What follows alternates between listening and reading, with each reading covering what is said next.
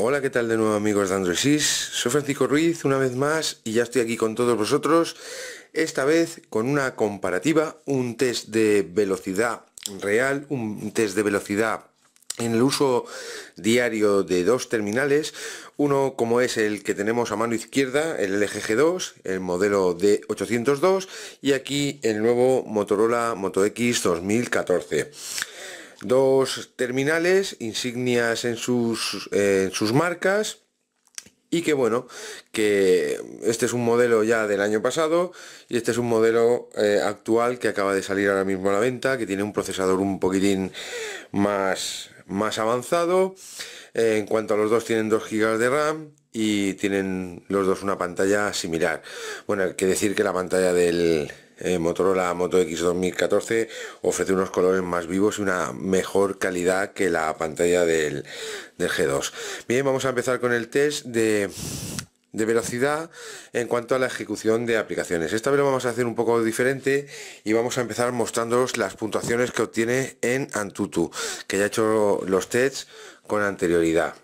Decir que el GG2, que está a la izquierda, eh, para hacerlo lo más justo posible, el LG G2 eh, tiene una ROM eh, Android puro, una ROM AOSP, o sea que no lleva la versión original de, del LG, del LG G2, sino que lleva una ROM CyanogenMod 11, la Snapshot M10, que es una ROM Android puro, al igual que, que la interfaz de Motorola que presume de una interfaz de Android puro. Como veis, la diferencia entre uno y otro son de unos 6.000 puntos y bueno, vamos a comenzar con el test. Vamos a salir de las dos aplicaciones y el test va a ser abriendo las aplicaciones en los dos terminales a la vez. Aplicaciones de un uso cotidiano como Google Chrome, el navegador web, eh, Google Plus, la red social de Google, Facebook, Twitter, Google Gear, que es una aplicación muy exigente y que pesa bastante, eh, que necesita de bastantes recursos y como no Google Maps. Bien, vamos a empezar abriendo Google Chrome en 3, 2, 1, ya. La entrada en la página principal, yo creo que ha ido un poquitín más rápido el LG 2 pero bueno, son milésimas de segundo. Vamos a entrar, por ejemplo, vamos a abrir una página en los dos sitios que sea la misma.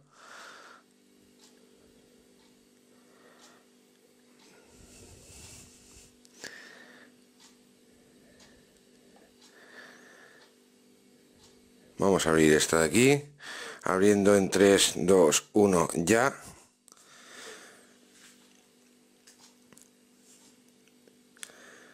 Aquí se ha adelantado el Motorola Moto X 2014 que ha cargado la página apenas unas milésimas de segundo antes. Vamos a repetir el proceso entrando en cualquier artículo. Por ejemplo en este, abriendo el artículo en 3, 2, 1, ya.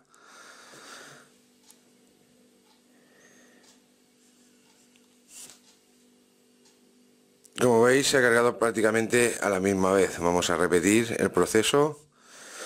Vamos a ir para atrás.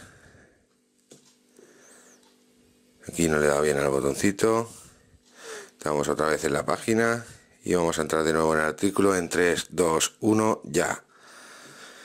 He dado a los dos a la vez y se ha adelantado, como no podía ser de otra manera, el Motorola Moto X 2014 apenas en una milésima de segundo. Vamos a ir al home y vamos a abrir de nuevo la carpetita y vamos a abrir Google Plus en 3, 2, 1, ya.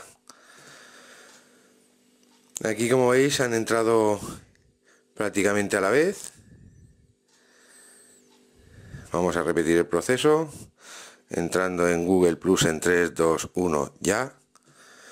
Y como veis ningún problema en entrar en la aplicación. Tanto en uno como en otro han ido prácticamente al unísono. Vamos a entrar en Facebook en 3, 2, 1, ya.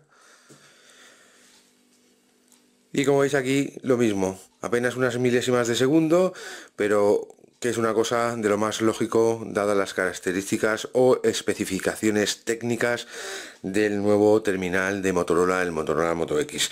Vamos a volver a repetir la entrada en Facebook en 3, 2, 1 ya y ahora una vez ya se ha abierto la primera vez entran más o menos a la vez. Vamos a entrar en twitter en 3 2 1 ya. Y como veis aquí se ha adelantado un poquito el LG G2 vamos a repetirlo. 3 2 1 ya. Y ahora que ya está cargada la caché se ha adelantado el Moto X. Lo haremos una vez más en 3 2 1 ya y como veis la diferencia es prácticamente mínima, demostrando que son dos grandísimos terminales. Vamos a una prueba más, más exigente en cuanto a la carga de gráficos, que es abrir la aplicación Google Heart. Abriendo Google Heart en 3, 2, 1, ya.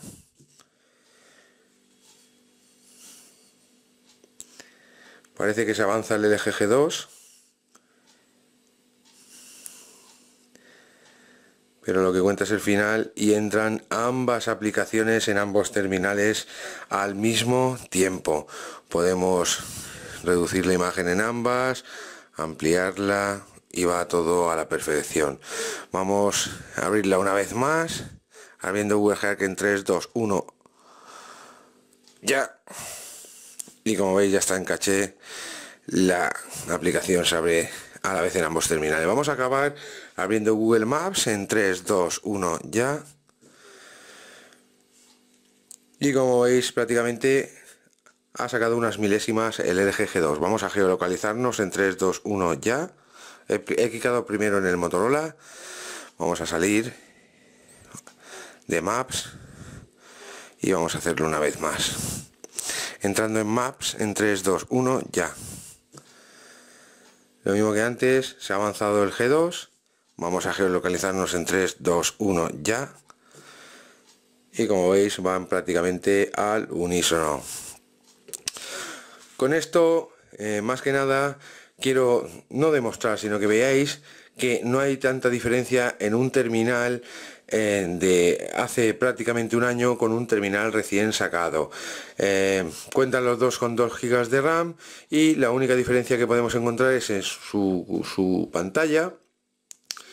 Eh, en su calidad de la pantalla yo creo que es un poquito de mejor calidad la pantalla del Motorola Moto X 2014 aunque no se nota demasiado la diferencia y en cuanto al procesador cuenta con un procesador eh, el siguiente modelo, al del G2, el G2 cuenta con el, eh, Snapdragon 800 y el Motorola Moto X 2014 cuenta con el, Snapdragon 801. El, moto, o sea, el, el G2 la velocidad del procesador, que es un 4 núcleos igual que la del Moto X, es a 2,2 GHz, creo recordar, velocidad máxima mientras que la del Moto X 2014 es una velocidad máxima del procesador a 2,5 GHz. Eh, sin duda, mm, los dos terminales son unos muy buenos terminales, pero con esto os quiero decir que mm, en un año de diferencia no podemos encontrar o no se suele encontrar un terminal que, em, vamos, nos haga como para decidirnos a cambiar de terminal y gastarnos la pasta que cuesta un terminal de última generación en tan solo un año.